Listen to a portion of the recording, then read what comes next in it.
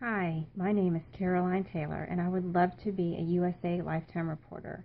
I would love to meet people like Serena Williams, Chris Pratt, Nicole Kidman, and MC Hammer. I hope to see you all soon. Thank you.